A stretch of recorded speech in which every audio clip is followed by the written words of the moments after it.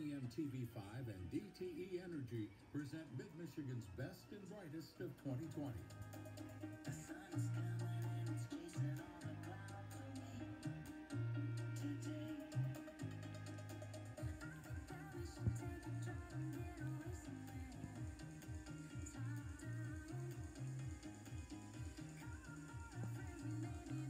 Hmm.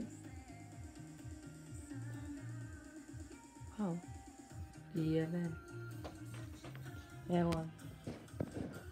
Yok.